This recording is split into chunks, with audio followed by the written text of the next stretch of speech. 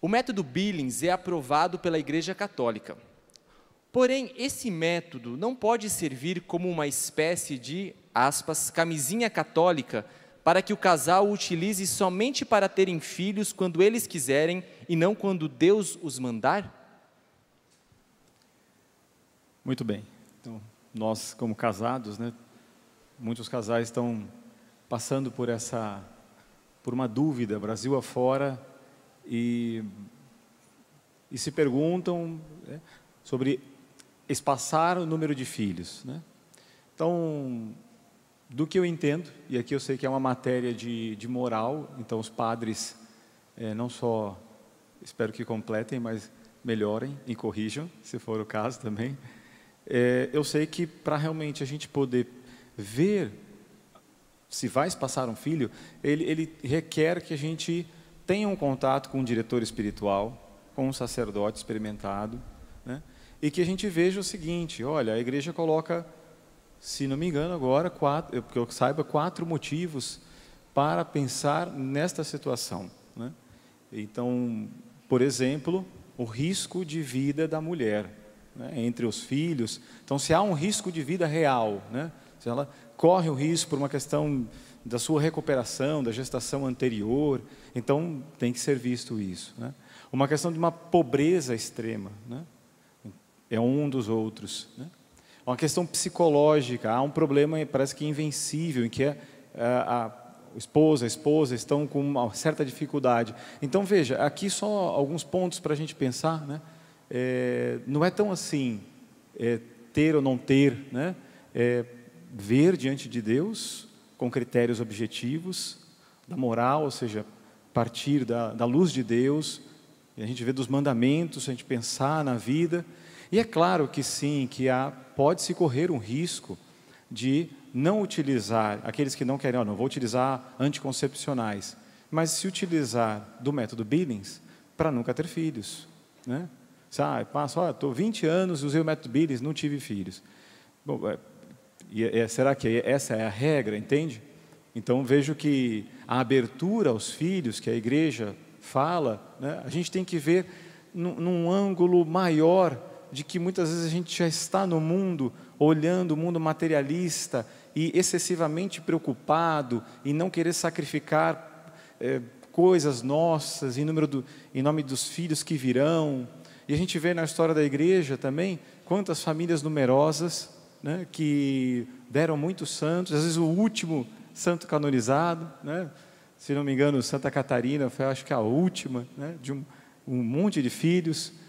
E então vejo assim que também a gente não é só simplesmente fazer como uma conta matemática, né, como quem diz assim, aquela coisa moralista, pode, não pode, pode, não pode, pode, não pode, né? É se ver diante de Deus com o auxílio de um sacerdote, né? É, pensar mesmo, perceber se está passando por um medo, ver a origem daquele medo. Às vezes é muita segurança nessa vida e as coisas mudam. Às vezes você tem um filho e parece ter uma situação e vem o segundo filho, parece que estava apertado, de repente melhora.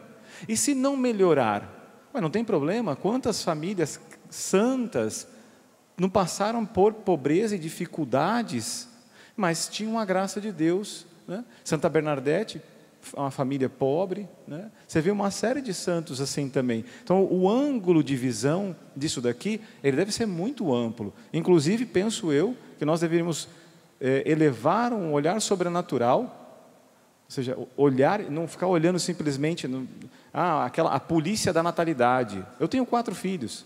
Quantas vezes eu e minha, minha esposa não vimos quando ela estava grávida do quarto, o pessoal olhar para a gente, nossa, hein? Quatro? Nossa, né? Coragem, né? Falou assim para a gente. É quatro, parece que a pessoa havia dobrado, assim, oito, não sei. 16, 20, não sei, 30, né? E aí hoje você pergunta, se perguntar aqui agora, ó, quem é? Quem quer ter oito filhos? Levanta a mão, né? Ah, então tá bom, levanta a mão quem quer ter oito filhos, que é casado aí. Né? Quem quer ter um filho? Né? Levanta a mão. Aí o pessoal está com um pouco de vergonha. Mas, de modo geral, no, no, no, grupo de jovens, as pessoas já não acreditam no matrimônio, tem muito medo né, de ter filhos, e tem um monte de gente também te atrapalhando, falando: olha, ah, imagina, ah, você vai viver uma vida muito apertada. Né? Olha, melhor né, apertada com Deus do que, que não sem Ele, entende? Então eu penso sinceramente sobre esse assunto que nós como casais nós devemos sair de um olhar simplesmente materialista, eh, relativista eh, deste mundo e olhar e, e ter sim é, a capacidade de falar não, quem não se sacrifica nunca vai amar. Então a gente tem que olhar o coração e entregar para Deus isso. Mas não sei, os padres aqui nessa, nesse campo, eu acho que é, vale a pena talvez complementar, de repente alguma coisa falta disso aqui, ou até melhorar. Não, a resposta está correta, moralmente correta, é aquilo que a igreja ensina, o que está na encíclica Humane Vitae, não é? é necessário ter uma razão séria, fundamentada, para usar os é, períodos não férteis. Eu só gostaria de é, só jogar um pouco de luz também na razão. Por que, que a igreja assim, porque parece que a Igreja Católica nós somos marcianos, nós somos de outro planeta. Que história é essa de querer ter filhos numerosos? Bom, acontece o seguinte, gente. Dizer para vocês com muita, muita tranquilidade. É uma questão de fé no céu. Quando eu fui concebido, só para dar um testemunho pessoal, isso aí da teoria. Porque o pessoal diz, ah, pimenta nos olhos dos outros é refresco, né, padre? O senhor não tem mulher, o senhor não tem filho. Vamos ser bem objetivos. Quando eu nasci, meus pais moravam numa kitnet. E estavam numa situação de fome mesmo. Minha mãe me levou ao médico. E o médico disse: Minha senhora, seu filho não está doente. A senhora tem que dar comida para o seu filho. É subnutrição. Então, meu pai, com lágrimas nos olhos, nos levou até a casa do meu avô e disse: o Senhor cuide da sua filha, cuide dos seus netos por enquanto, porque eles estão passando fome comigo. Eu vou trabalhar. Quando eu tiver dinheiro, eu irei buscá-los. E de fato ele veio nos buscar. Mas acontece o seguinte, gente. Eu passei fome quando era criança? Passei. Ainda carrego as marcas disso. Ainda carrego as marcas disso.